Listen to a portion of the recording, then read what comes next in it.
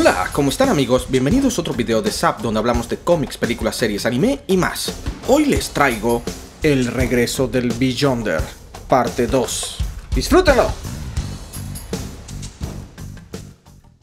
Si te interesa la producción musical, el audio profesional, la mezcla o el mastering, visita mi canal La Cabaña Estudios Escuela de Audio, donde en cada video te enseño un nuevo truco o secreto sobre esta hermosa profesión, además de profundizar mucho en cosas sobre mezcla y mastering que nadie cuenta. Así que ya sabes, si quieres aprender más sobre audio profesional, visita mi canal La Cabaña Estudios Escuela de Audio.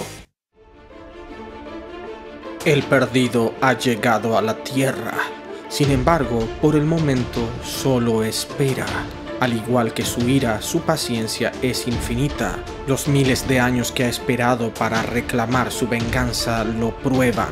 Él no puede ingresar al planeta gracias al escudo planetario que el Beyonder ayudó a los Vengadores a construir con los cristales que encontraron hace poco, pero solo es cuestión de tiempo.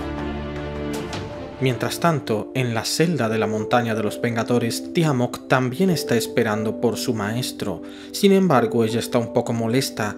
Antes podía escuchar al Beyonder tramar y planear, pero ahora no puede hacerlo. Por otro lado, se encuentra la Orden Negra, la cual está llegando a la Tierra y acechando para atacar. Corpus Glaive tiene un nuevo objetivo y también tiene planes los cuales quiere satisfacer. Paralelamente, vemos que el Capitán América y la Capitana Marvel estaban custodiando los cristales, ya que si algo les pasaba, el escudo que protegía al planeta caería y el perdido lograría entrar. Pero en ese momento Carol se percata de que algo extraño está pasando. Quizás sea una falla en el teletransportador. Thor y T'Challa fueron a Wakanda y Iron Man y Jennifer se fueron hasta Nueva York, pero ninguno de los dos parece haber llegado a su destino. Ni bien termina de decir eso, Carol puede ver en las cámaras de seguridad de la montaña de los Vengadores a la Orden Negra y se lo informa al Capitán América, quien le pide que por favor se encargue de ellos mientras él pide ayuda para ver si puede encontrar a sus compañeros. Carol no tiene ningún problema en hacer lo que el capitán le dice y se enfrenta sola a la Orden Oscura y mientras la batalla comienza oímos la voz del Beyonder que menciona. Sabía que podía confiar en ellos, en los Vengadores. A pesar de que la humanidad es egoísta, los héroes de la Tierra son nobles y siempre ayudan. Ellos son los mejores. Ahí vemos que el Capitán América se comunica con Lunela para pedirle que le ayude a solucionar el problema del teletransportador.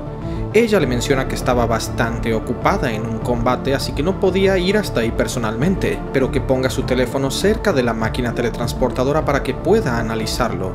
El Capitán América lo hace, pero repentinamente la puerta de la habitación explota. Era Corvus Clave quien ataca de inmediato al Capitán América. Y mientras ambos pelean, el capitán y Lunela siguen hablando. Ella le menciona que ya encontró al resto de los Vengadores, pero que en el sistema había una señal extraña. Él le pide que por favor se encargue de eliminar esa señal.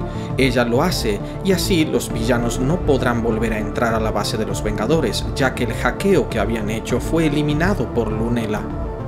No muy lejos de ahí, Capitana Marvel se enfrentaba sola al resto de la Orden Negra, y mientras ve la pelea, el Beyonder menciona, sabía que debía buscar refugio en la Tierra, las criaturas de cualquier otro mundo se hubiesen perdido en mi omnipotencia, pero no los héroes de la Tierra, ellos siempre están felices de ayudar. Volviendo con el Capitán América, él le pide a Lunela que si ya encontró al resto de los héroes que los traiga a la montaña.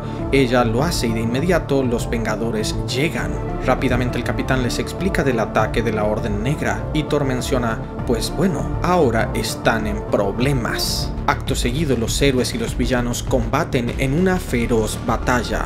Y observándolo todo, el Beyonder menciona, Realmente me doy cuenta viéndolos pelear así de lo honorables que son y cómo quieren ayudarme.